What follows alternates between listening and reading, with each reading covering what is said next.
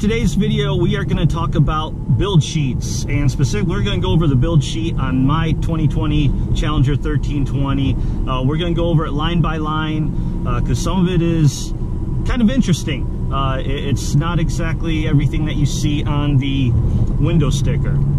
So first of all, uh, this build sheet that I'm using is available online. Um, it, anybody can get this build sheet for their car. I'll go ahead and put the link in the description. So what these build sheets are, uh, it's just kind of an overview of all the stuff on the car or truck or whatever vehicle you have. Uh, kind of similar to a window sticker, uh, but it has a little bit more info, some more specifics, some things that really you don't need to even know about.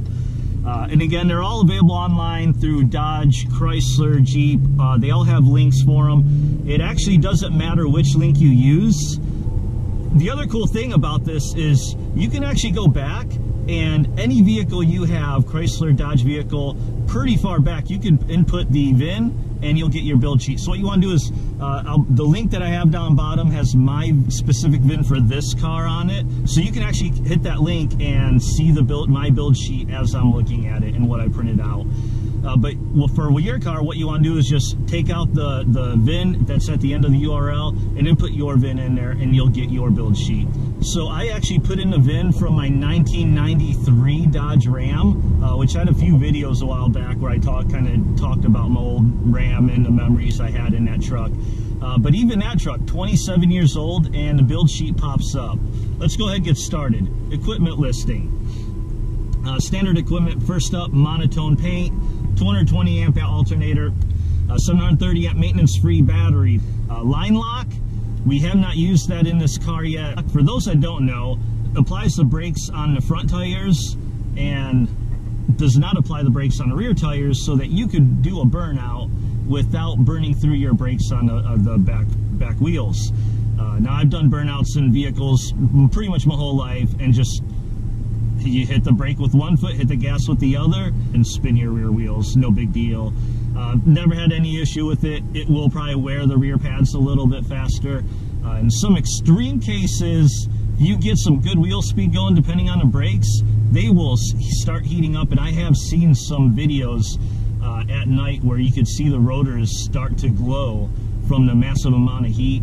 Okay, so rain brake support, what it does is it's pretty interesting. When your windshield wipers are on, the car computer knows that and so what it does is it's thinking hey your wipers on it must be raining so your wheels are going to get wet. So it'll apply a tiny bit of pressure to the brakes just enough to get the pads to get close enough to the rotors where they're not stopping you but it's wiping the rainwater off of the pads keeping them dry so that they perform better they brake better. It kind of makes sense. Uh, next up on the list is ready alert braking. That was another weird one I never heard about before. Uh, so basically, ready alert braking, when you suddenly release the accelerator pedal, it will activate the ready alert braking. And basically what that does is the brake system then prepares itself for a panic stop. Because if you think about it, normal driving, you're driving, you're cruising, you let off that gas instantly, and then you slam the brakes if, you know, traffic comes to a stop ahead of you. So the system just kind of preemptively gets things ready. It kind of thinks like, oh, okay, you let off the gas pedal so fast, you might be needing a panic stop. So it kind of prepared knockback mitigation. And according to a supervisor of vehicle dynamics for SRT, this was a while back, apparently Chrysler owns the patent for uh, knockback mitigation. So it's developed from the pad wiping software that dries off the brake pads when they're wet, which is why I just talked about the rain brake support and it's new code that keeps the pads from being knocked back into the caliper under hard cornering. Next up, electronic stability control. That's been around forever on cars now. Okay, so hill start assist, when you're on a steep incline, the car will maintain a little bit of brake pressure for a little bit of time after you release the brake uh, to just kind of help you from rolling back when you're on a hill. Now, I thought this was weird because in automatic, I don't think it's as big of an issue. Maybe it puts a little bit more stress on the transmission. So I guess, talking about now, I can kind of see why it would be used. Put less stress on the transmission. Uh, I would normally think that would be a big feature for like a manual transmission. Next up, all-speed traction control. it detects wheel spin and will divert power, apply brakes, or whatever it does to make sure that you get maximum traction. Electronic roll mitigation. This was another interesting one I never heard of before. It anticipates the potential for wheel lift by monitoring the steering wheel input and the speed of the vehicle. That has to do with when you're taking turns, corners, uh, and when we're talking about roll or lift, we're talking about side rolls. So one side of your wheels coming up off the ground and rolling. Applies appropriate brake and may also reduce engine power to lessen the chance that wheel lift occur.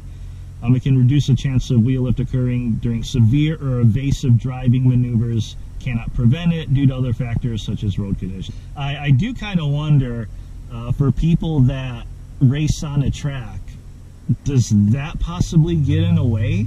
Um, if you're taking a super hard turn, hard corner, um, will that thing start engaging because it's trying to prevent wheel lift?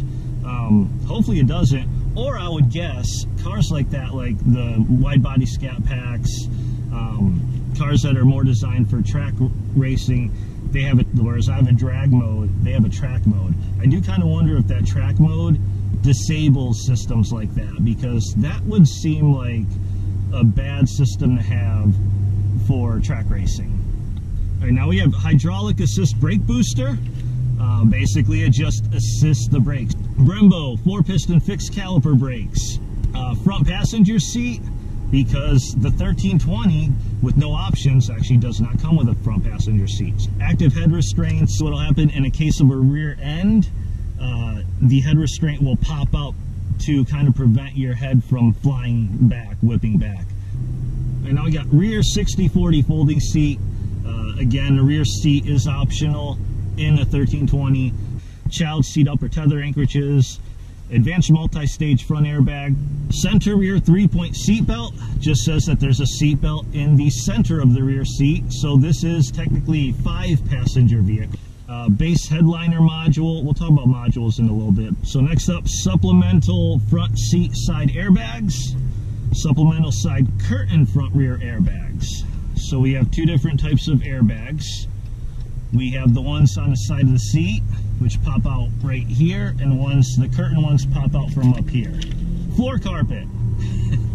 uh, I don't know any cars that don't come with floor carpet. I feel that's kind of a truck thing because trucks, you could have a floor carpet if you buy like the very most basic cheap work truck model, they'll actually have vinyl floors. Uh, trunk carpet kit. Carpets in a trunk. Again, I don't know if any trunks that don't have a carpeting in there. Sorry. Luxury front and rear floor mats. I love that they call them luxury. I don't know what's luxury about them. They're just regular floor mats. Floor console with armrest. Interior assist handles. That's these puppies right here. So your uh, oh shit handles basically is what they are. Cell phone storage. Uh, good question. I don't know what's that, that's not cell phone. That's like a coin holder. I think maybe they're talking about there's like netting here, or maybe even this netting. Let's find out. Cell phone. Uh, it kind of holds it, I guess. Not very good, but it does. So let's say that's it. Illuminated cup holders powered by SRT engine cover. Those are those plastic valve covers uh, that in my oil catch can video, I actually took those off because uh, I, I don't really care for the plastic engine covers at all, personally. Anti-spin differential rear axle. All right, we're getting into some good stuff here now. It's gonna spin both rear tires. So when you do a burnout, you're gonna leave two tire tracks instead of just one. Without that, they call that an open differential. Solar control glass. This glass in here is solar controlled. What that means is it has some sort of UV film layer inside or has some kind of special thing to kind of help protect against uh, UV rays. Rear window defroster, sun visors with illuminated vanity mirrors, sun visors, illuminated vanity mirrors on both sides. Rear view auto dim mirror. At night when a car comes up behind you and they have their brights, this mirror will automatically dim itself. Power mirrors fold away. So they don't fold powered, but they do fold up. Uh, remote proximity keyless entry. You've got this key, and on these challengers, on the handle, there's a little black button. So as soon as you're close by, you got the key in your pocket. You just kind of lift the handle, you can unlock it. Keyless entry. Uh, same thing. Sentry key theft deterrent system. There is a chip inside of this key. And inside the ignition is a reader that reads that chip. And it has to basically identifies it, and knows that you have it, knows that you have the proper key. Air conditioning ATC with dual zone control. ATC is automatic temp control. Instrument panel. So let's talk about modules. We're going to see uh, modules, a couple spots in here too. So the way assembly works, uh, some parts they break up into modules. So they, they assemble pieces of the car in different areas and then they take those assembled pieces uh, to some spot on the assembly line and then attach the assembled piece. This instrument panel being one of them. And in fact, I've got this really cool thing right here. Um, when I took delivery, I, I had them keep all the paperwork in the car, and this was inside the glove box. Because this is kind of what's called a track sheet. Uh, so that when they're assembling it, there's a special section that do instrument panels. So they have this list of the glove box doors, the vents, the plates, panels, ra what radio assembly, the speakers, thermistor, sensor, all sensors, like all these different things all have to get put together. So they actually assemble all this stuff separately, then in the part on assembly line where they attach this in the car, uh, there's actually a couple videos from Brampton and you'll see that the instrument panel is attached to this big arm and it swings to the door opening and they just bolt the whole thing in.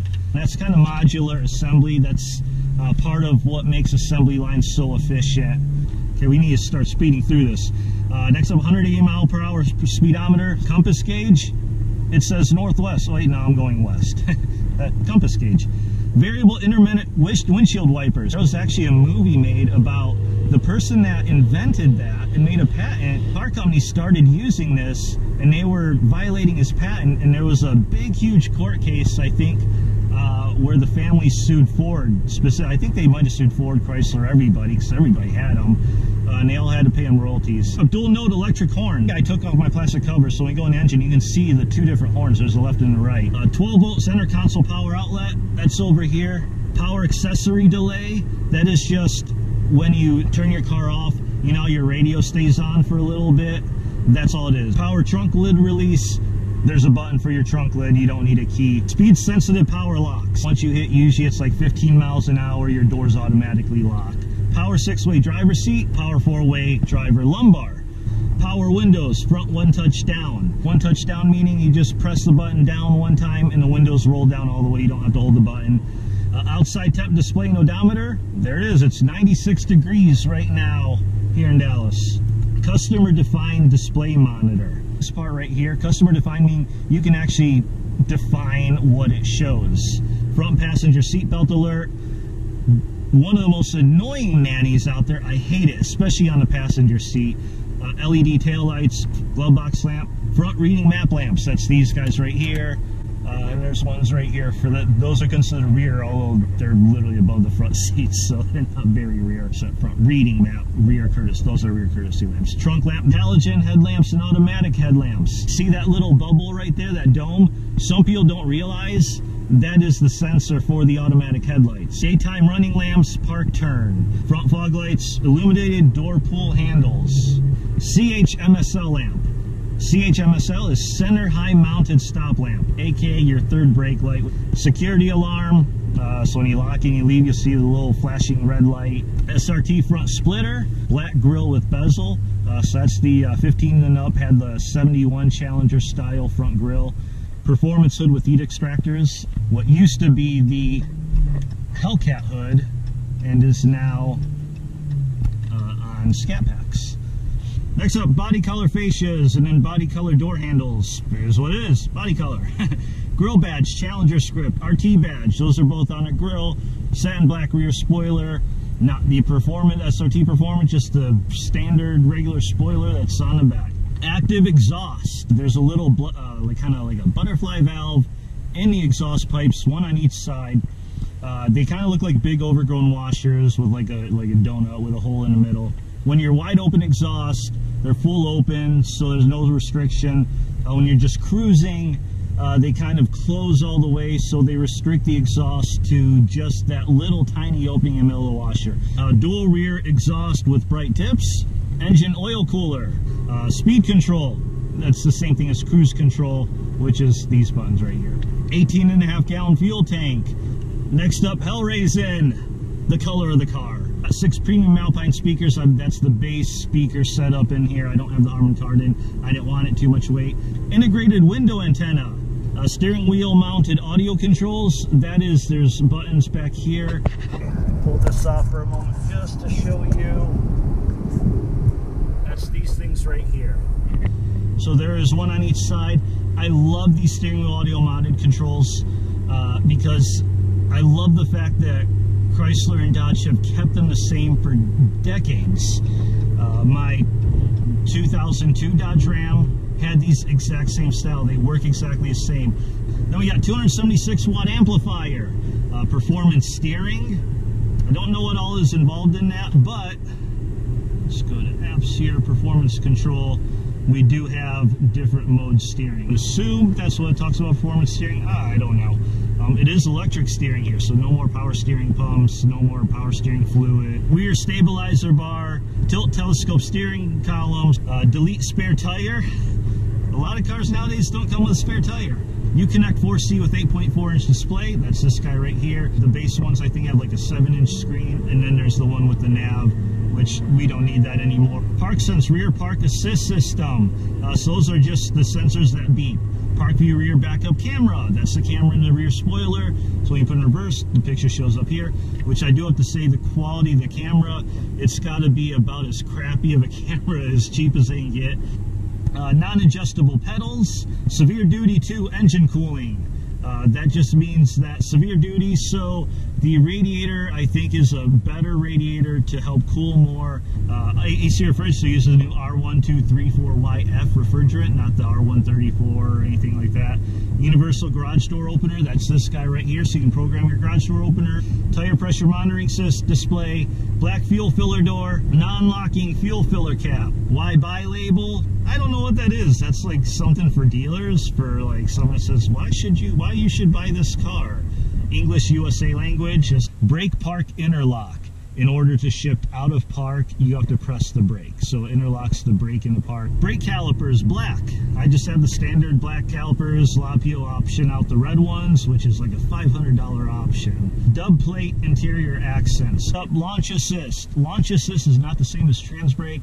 Okay, now we got a bunch of modules. Aluminum front suspension parts modules, rear fascia parts modules, front fascia parts module, brake and knuckle parts module, instrument panel parts module, front suspension, rear suspension, powertrain, tire and wheel parts module, lots and lots of modules.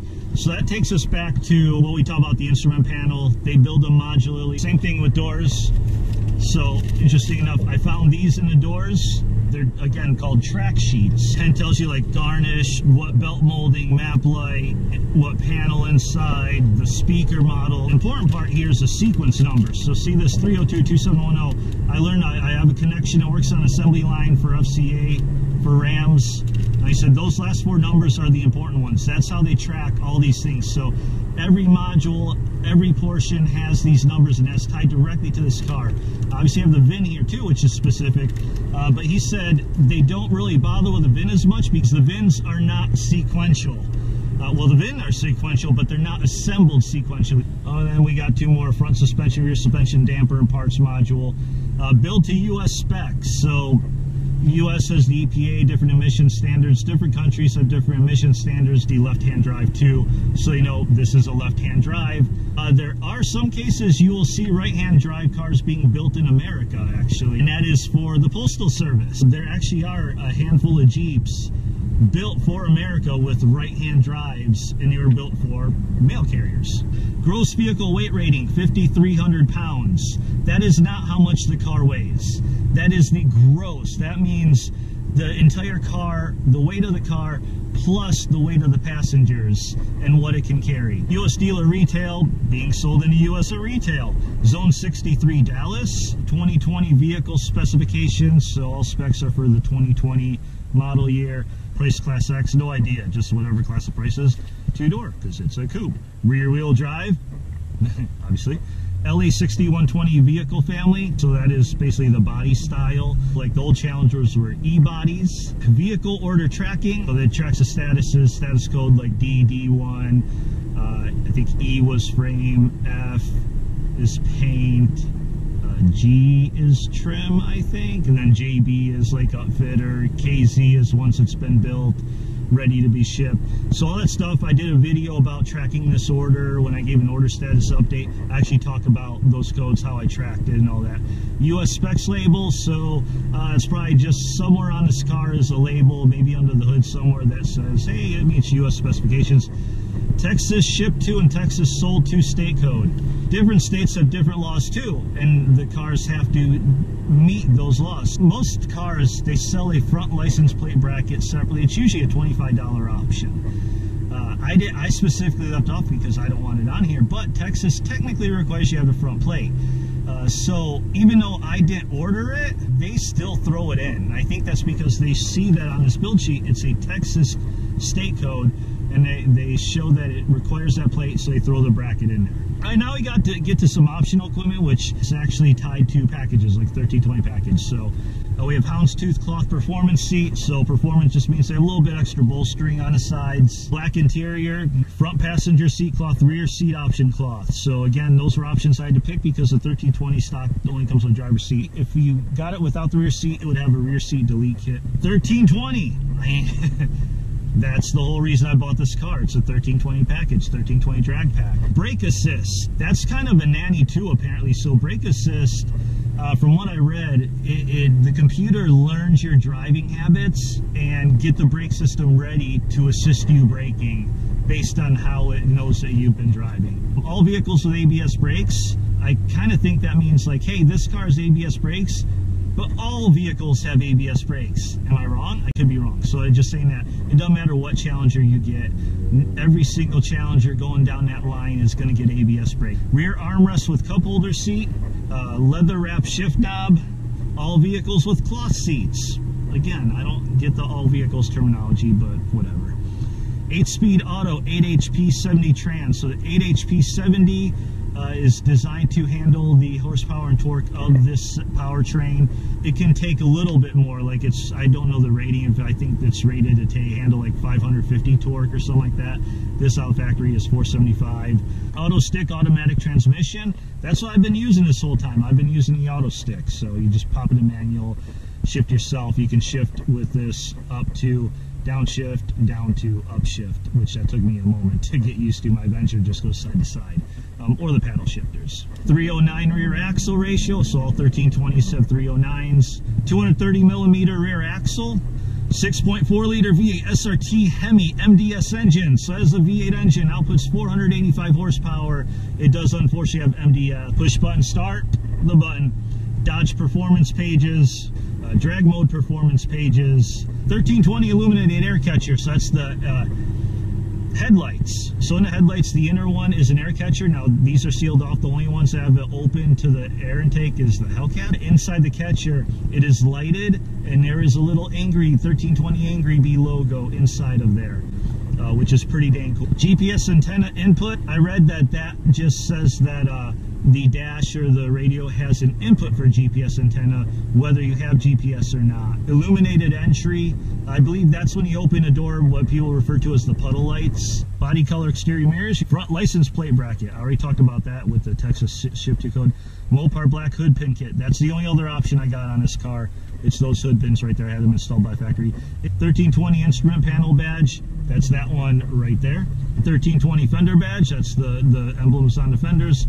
50 state emissions. A, it just meets all 50 states. Exterior meters, mirrors with heating elements. Speed limited engine controller. It is speed limited, but it has a higher speed limit. Hellraisin again, I don't know why they show that paint code twice. All radio could be, it has a radio, duh.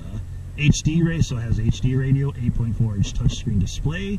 Some of these are kind of redundant. Apple CarPlay, Google Android Auto, USB host flip. The flip means that the USB can be used as uh, a, charge, a charger or for data. Shark fin antenna on the roof for the Sirius XM satellite radio, uh, which comes with a one-year trial, including Guardian, uh, media hub, two USB and an aux, that's in here. Integrated center stack radio, that just means the radio is integrated into the center. 4G LTE Wi-Fi hotspot, you can uh, pay for a subscription and use your car as a hotspot. But it's expensive, and I don't know too many people that do it. My Dodge Alcantara Performance steering wheel, drag mode suspension.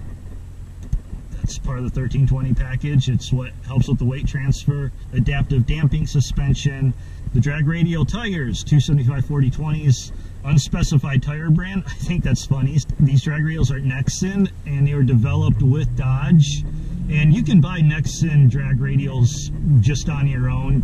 Uh, they're not like the Demon tires. Demon tires, you have to be a Demon owner to get. All aluminum wheels because the wheels are aluminum. By two-piece wheel center caps, 20 by 9.5 low gloss black drag wheels. They are a little bit lighter weight. They also have a knurled bead inside and that knurled bead kind of helps grab the tire to keep the tire from spinning on the rim. Uh, bright pedals, I forgot I even had these. So these pedals right now, they're just the plain black rubber, nothing fancy. The bright pedals are the silver ones with the black knobs in them. I do not have them on because they actually don't install those in the factory. The remote start system, tip start. I had to look up what tip start is. It used to be when you turn the key, you have to hold the turn as it's cranking until it starts up. So tip start, all you have to do is turn that key really quick. You could turn it like boom, just like that, and a car will start steering wheel mounted shift control. Uh, that is what they refer to as the paddle shifters. NMCA NHRA membership one year. That comes with the 1320 package. You get a one year membership. This tire service kit. Because this doesn't have a spare, so what they have is a small little air compressor uh, and it's actually a two-sided, so one side is an air compressor, the other side has like this fix-a-flat stuff. Front rear climate control outlets, integrated voice, voice command with Bluetooth. So you have this uh, voice recognition, you press that button, you say, hey, uh, call so-and-so. If, if you have your phone attached with Bluetooth, it'll read your contacts and call whoever you want. Humidity sensor. So it's kind of like an anti-fog system to help your windows from steaming up. Trans brake. I cannot wait to use this. Uh, so it basically locks up your trans for takeoffs for drag racing. Uh, seems complicated from what I've seen on these cars, but I can't wait to try it out nonetheless.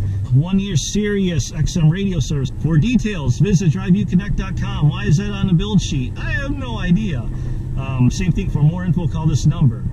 No idea why. Manufacturer statement of origin. Uh, that's actually the part of your window sticker where it talks about what percentage of your car parts came from Mexico, what percentage came from US, Canada, where it was assembled. Eight additional gallons of gas. Then you have spring, left front, left rear, right front, right rear. Like the more detailed build sheets will actually have uh, I think three or four digit codes that kind of ties into the part numbers and tells you which springs. This isn't as detailed. You can get that more detailed one. You can't do it online. You actually have to uh, easiest way I think is either contact Dodge or Mopar or just go to your service manager at your dealership. I think they can print it out too. Customer preferred package 2 2DG, so that's like just one of standard or dealer option, dealer ordering options. Uh, 24G means it's the RT Scat Pack 6.4 Hemi V8. That's the base model that the 1320p is added on. Scheduled E2C tracking, just as tracking. Sold vehicle, because I ordered it. It's a sold vehicle. It's not a dealer order. Special scheduling condition 7. The conditions have different ratings for their order of importance, of their priority of going to through the line. Uh, 7 seems to be fairly common, so I don't know how high a priority 7 is exactly. Then we have distribution services tracking. I believe that's for shipping, uh, which I have vehicle shipping orders, so I think that's what that is. Easy order, that has to do with like the dealer and how they order it, order it. Status D1 to D1 forward. So I think that has to do with this car bounced around. It went D status, then D1, and back to D. Then it went to D1. Then we had the plant shut down for COVID, and I think it did D1 to D1, stuff like that. United States Region Group and NAFTA region. NAFTA is North American Free Trade Agreement. I think that has more to do with like accounting and the bookkeeping books and all that. So that's it. That comes to the end of the build sheet. This is the build sheet from a 2019 1320. So just like mine, only difference is this person got a SRT performance spoiler and the um, red brake calipers.